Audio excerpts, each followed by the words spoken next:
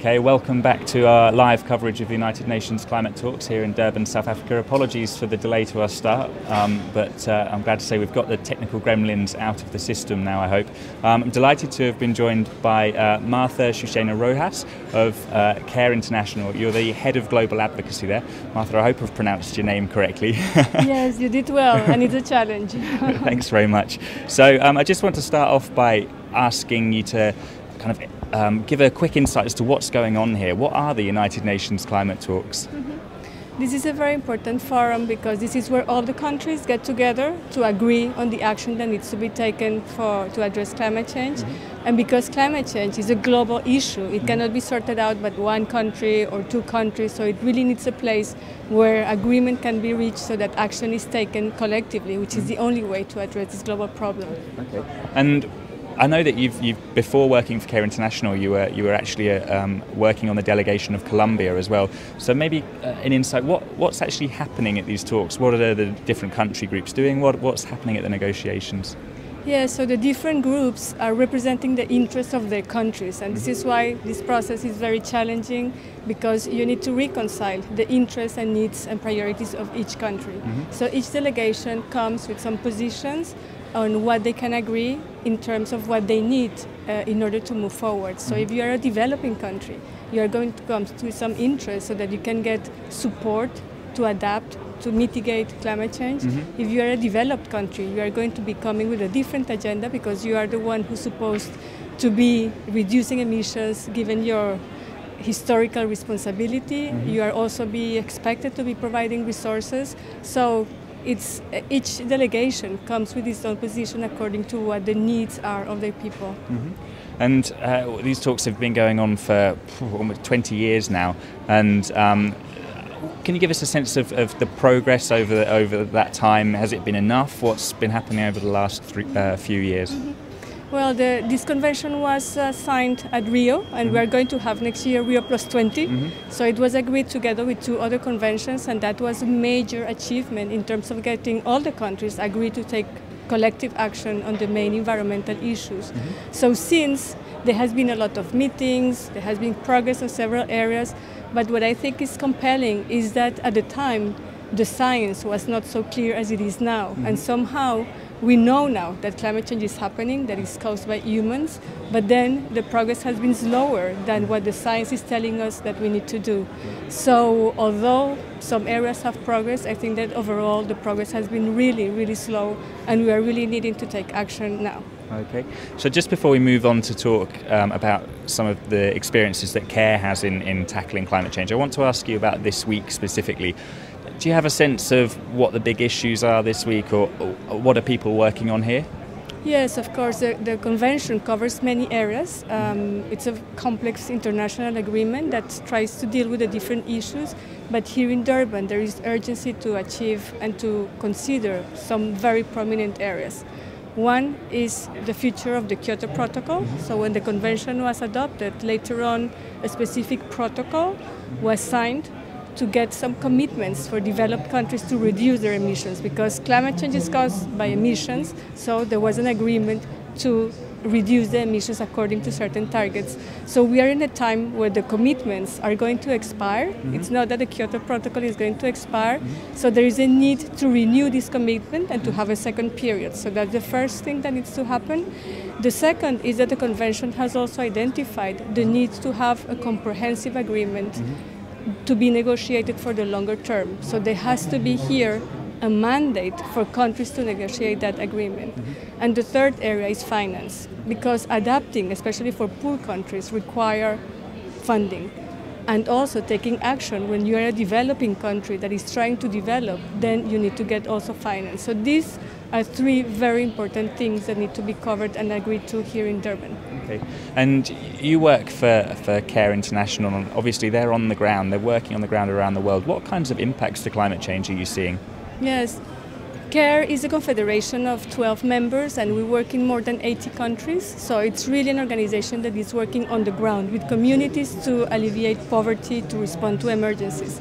And what we are seeing in CARE is that the impacts of climate change, and this is something that everybody knows now, are really affecting most and hardest the poorest people, the most vulnerable people, which is quite unfair because they didn't do anything to change the climate change.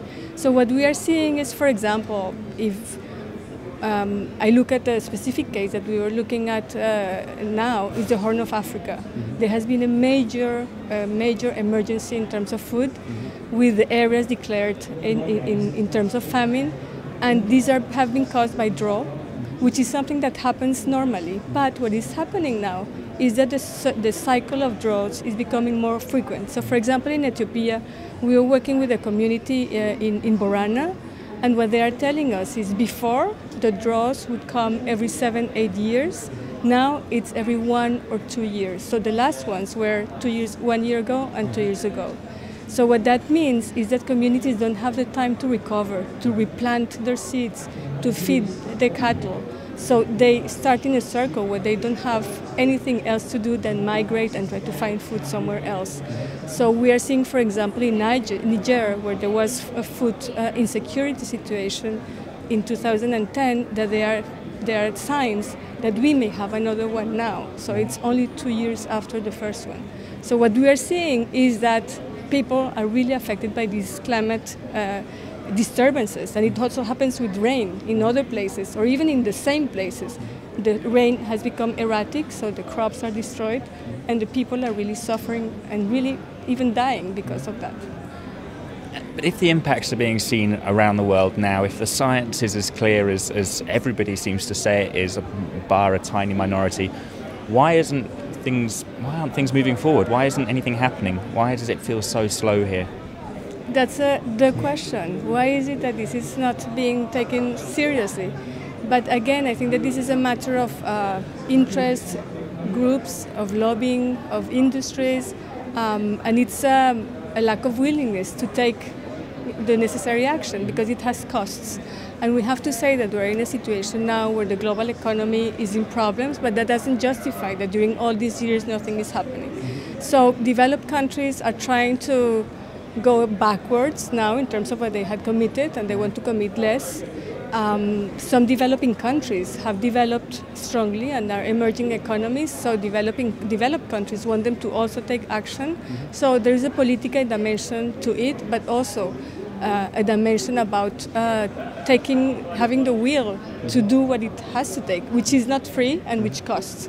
So there is also um, a situation in terms of the national domestic agendas, and we know that the U.S., which is such an important country, is very weak now in terms of the domestic agenda for climate change. So that also makes it very more difficult to get agreement here, but doesn't justify.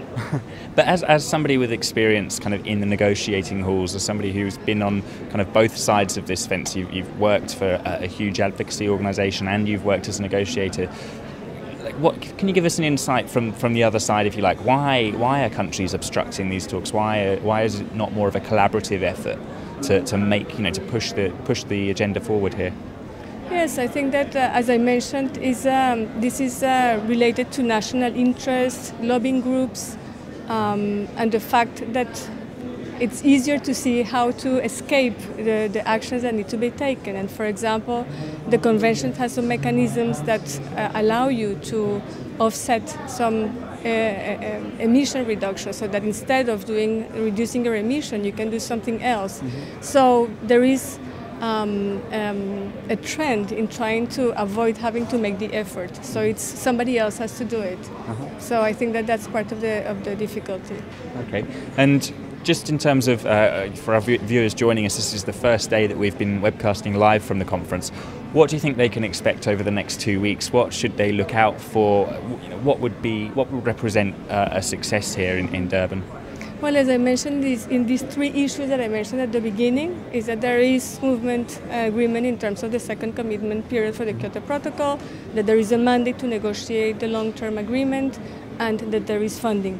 There are other issues, and CARE actually is working more in terms of the adaptation agenda or the REDD, which is reduction of emissions from forest degradation, which is try to use the potential of the forest to capture uh, carbon. Um, although we are working on that and some progress may happen in these technical areas, the big issues are the three that I mentioned. If these don't happen, there is a problem in terms of the timing mm-hmm. because the Kyoto Protocol needs to, I mean, if there is an amendment, it needs to be ratified, so it will take time. So there are some issues which are urgent mm-hmm. in terms of the action needed, but also in terms of building the trust so mm-hmm. the rest can be carried out. And we know that next week the, the politicians are, are, due to arrive here, the, the, ministers. Is that when we'll have a sense of, of kind of whether there's potential for success here or not, or are we already kind of, uh, you know, do we already have a, an insight into the progress here? The expectations for Durban are that progress needs to be made, but nobody expects that everything will happen here. So they are looking already to the following COP. But there has to be some level of agreement in the areas that I mentioned. And the negotiation started now, and it's really getting into speed. Um, what happens is that before the ministers come, the negotiators try to get as much as an agreement as possible, but then there are some critical issues that are left for the ministers to negotiate. Mm-hmm. So we will see. Okay.